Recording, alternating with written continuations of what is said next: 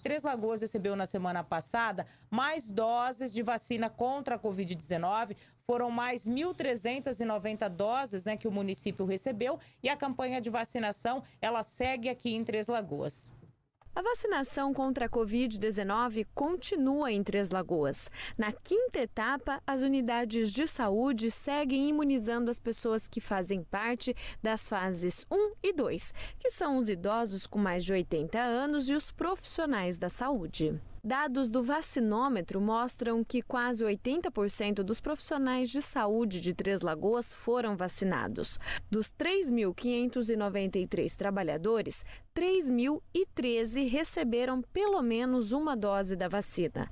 Já os 1.919 idosos com mais de 80 anos, 718 deles foram imunizados com a primeira dose. No total, 5.846 doses foram aplicadas e isso significa que 3.792 moradores foram imunizados contra a Covid em Três Lagoas. Segundo dados do vacinômetro, no total, 161.168 doses foram aplicadas em Mato Grosso do Sul. Esse total corresponde a 54,2% da fase 1 do público-alvo e a 23,4% da fase 2.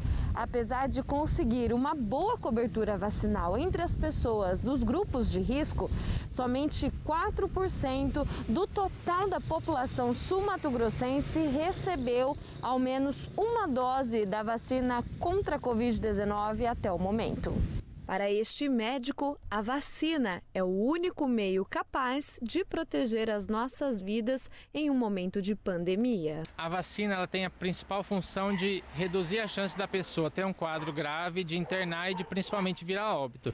Então, ainda eu, se eu tomo a vacina, ainda que eu pegue o, o vírus, que eu desenvolva a doença, a chance de eu morrer de eu desenvolver um quadro grave é muito menor. A grande importância é isso, diminuir perdas de vidas. Lembrando que nessa fase, os idosos com mais de 80 anos precisam fazer o agendamento na unidade de saúde do bairro em que mora, que é para receber a vacina no dia e na hora marcados.